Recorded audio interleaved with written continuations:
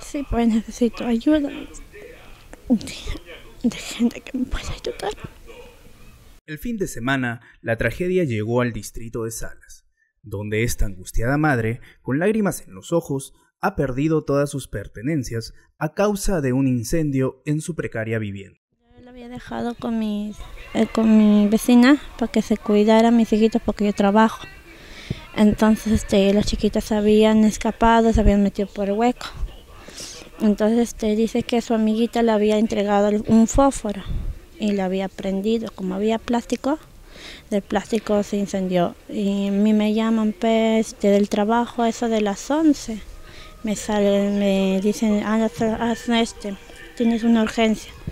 Me salí y me dicen pues que este, la, tu caso, tu choza incendiado. Vengo y ya no, no encontré nada.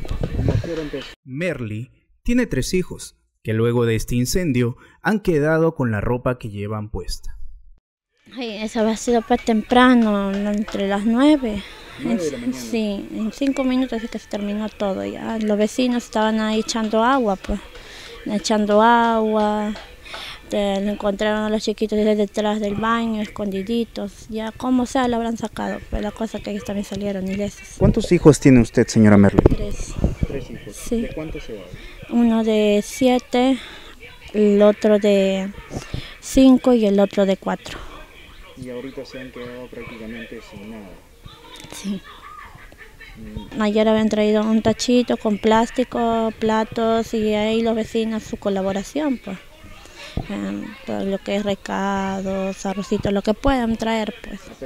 Pido a algunas autoridades que me ayuden, pues con lo poquito que puedan. Prácticamente estoy sin nada ya, con la ropa encima que me, que me veo, si no, ¿qué puedo hacer? Los vecinos manifestaron que al ver el fuego hicieron todo lo posible para apagar las llamas que amenazaban con perjudicar las viviendas aledañas. Entonces llamamos serenazgo, ya llegó demasiado tarde porque ya lo habíamos terminado.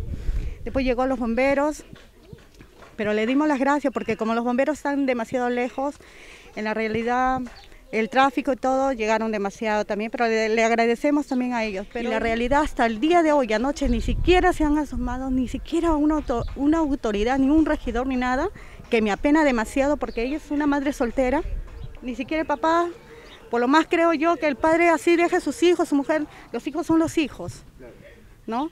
Yo creo que el papá está demasiado, mujeres pueden encontrar en cualquier esquina, los hijos no.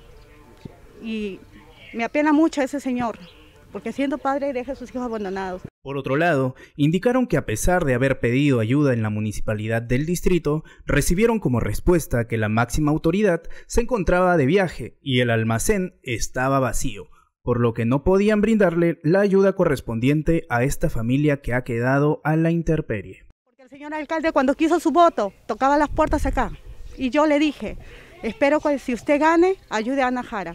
Pasaría, la señora, mire, no tiene su cocinita, estamos viendo ahorita entre todos recolectar aunque sea dos soles para poderle comprar una hoja de módulo, ver la manera como ella puede, porque no puede trabajar, hasta su platita se la ha quemado ahí, que ha tenido guardadita, en medio su ropita se la ha quemado. Porque la señorita de Serenajo, me quedé muy indignada que siendo mujer, venga aquí a decir, ah, la señora se fue, deja a sus hijos votados. Ella no es nadie para juzgar a nadie. Aquí la mayoría son madres solteras, que lamentablemente los padres abandonan a, a los hijos y que nos toca a nosotros, ir a trabajar por nuestros hijos. Si usted desea ayudar a esta familia, puede comunicarse al número 961 710890.